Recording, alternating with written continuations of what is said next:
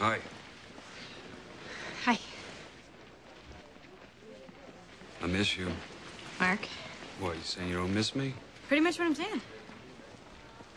You seeing someone? Yes. His name's Andrew Rapp.